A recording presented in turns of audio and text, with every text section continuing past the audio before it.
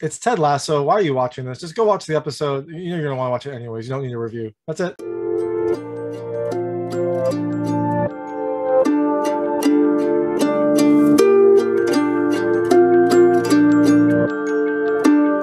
Hey everyone, this is David Stark from Watch or Pass, and I know I'm a little late to the game here, but I just started binging Ted Lasso, and now I'm caught up, and I'm going to review Ted Lasso season two, episode seven, Headspace, which is coming to Apple TV Plus on September 3rd, 2021. I've got my most AFC Richmond jersey on. I got the Richmond colors in the background. I'm ready to go. I'm ready to talk about this episode. So the episode is, as I said, coming September 3rd, 2021. It's 36 minutes long. The episode title is Headspace. So as you can imagine, this kind of gets into some of the uh, psyches and motivations and you know, the heads of, of some of the characters in the film, specifically the coaches. The, this film focuses on the, the four main coaches and each of them kind of addressing something different. Uh, so, you know, before I get started, I'm going to talk about a little bit about the episode, three things I liked about it, three things I didn't love about it. Uh, you know, as you can imagine, there will be some spoilers. I'll try not to spoil everything, but there will be some spoilers about the the series. So just keep that in mind. If you haven't watched it, go watch it and then come back and uh, listen to this.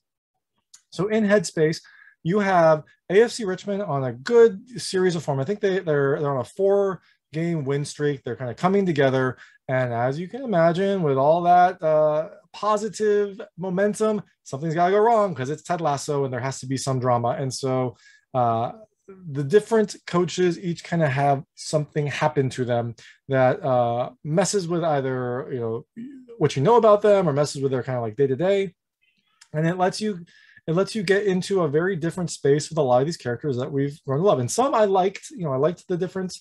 Some I didn't love, but I'll go into that right now.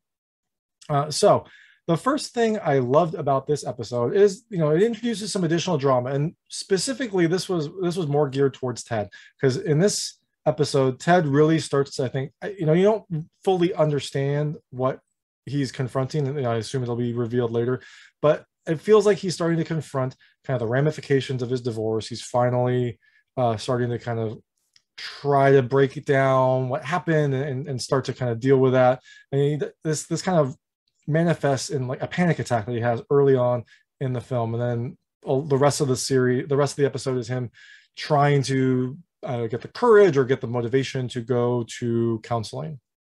Um, and so that that was fun. You also get uh, a little bit more drama in uh, in Roy and Keeley's relationship, and that that that was funny, but also lets Roy's character kind of grow a little bit more as well.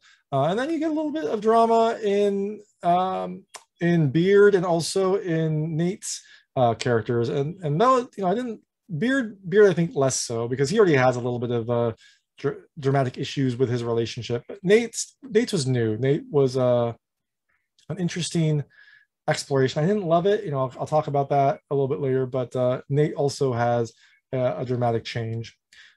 The second thing I loved is that, you know, kind of going along with the drama, you get to see some different facets of the characters. And, and, you know, that's with the coaches, you get to see some of their more vulnerable sides. I especially liked Ted, you know, approaching therapy in the, in the way that Ted Lasso does. You know, he's positive, but also you know, maybe a little skeptical, doesn't want to change the way he does things. Um, so that was that was fun to see. You get to see kind of a little bit more serious Ted Lasso um, in this episode, but you also get to see. You know, I, I, think Jamie's character is really starting to come around. I liked seeing he's becoming more of a team player and kind of trying to balance, you know, when to be the star versus when to be a member of the team and trying to actually start to listen to people, which was fun. And then you also get to see uh, some other facets of Nate's character, which I didn't love, but you know, it, it is something that's new and, and will kind of, I imagine, fuel towards the finale in, in a month. Uh, and the last thing I really loved is you get some revelations that we've been waiting for. Specifically, uh, the biggest revelation, you get to find out who Rebecca's mystery banter beau is. And I'm not going to tell you who it is because I want you to find out for yourself. But uh, needless to say, you do get some revelations in this film. You also, or you do get some revelations in this episode. So things I didn't love, you know, there were some character changes, specifically Nate's character that I didn't love. He, you know, in this episode, he gets and again spoilers here for some of the things that happen. He gets a little bit cocky. He, he you know finally shows his coaching acumen. He finally is able to kind of step up when he needs to. And then that causes him to kind of get an inflated ego. And look i get it. Like he spends most of his time checking twitter seeing the references to himself and everyone does that. I do that with my site. Like every time I get a new comment on YouTube, I'm very excited and I'll like go read it and you know maybe respond to it. So I understand that, but his character gets very uh, egotistical and, and straight downright mean in some instances. I didn't love that because that's just not how his character is. Uh, it seemed like a very abrupt change. It seemed like you know something that they're trying to build in now to have some later confrontation, some sort of later explosion you know so they're trying to lay the groundwork now but it did feel like a very abrupt change.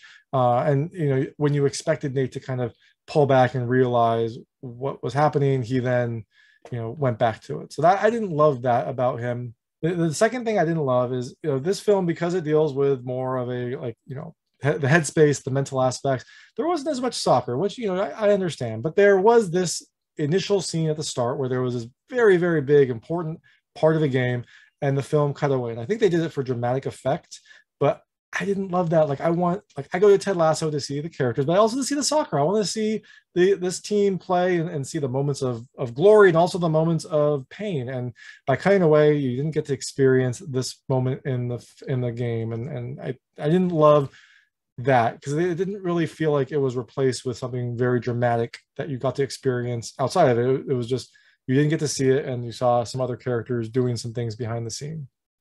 Um, and the last thing i didn't love as much is uh, there was less coaching by ted in this in this part. And i guess that's partly because now he's trusting his coaches. His coaches are uh, running the practices and, and and controlling how the practice goes and even how the game goes.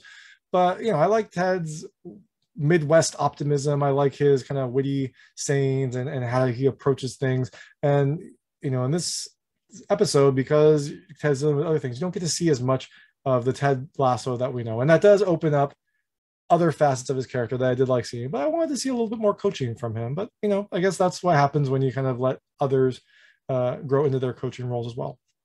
So that's Ted Lasso, season two, episode seven, Headspace. It's coming uh, today because the embargo is up today. So it's coming September 3rd, 2021. So you can check it out now on Apple TV Plus. If you're a Ted Lasso fan, you're going to watch it anyway, so you don't really even need this review. But if you haven't started the series, it's a fantastic series. I, I just started it last week. I've binged through all of last season and all of this season, uh, and I can't wait to see where it goes. So that's thanks so much for watching. If you liked this review, please like and subscribe to this channel. It helps me out a lot and make sure all my new content goes straight to you. Thank you.